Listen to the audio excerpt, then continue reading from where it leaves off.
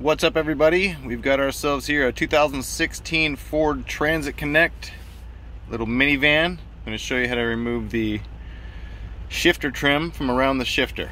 Alright, pretty easy. Just going to get your hand in there. Give it a pull. And you can do a little bit safer and a little bit less violent with two hands, but uh, the things I won't do for you. All right, so it just presses back down in there. Now you've got access to your uh, whatever you need to under there in your shifter. All right, hope this helped you out. Have a good day.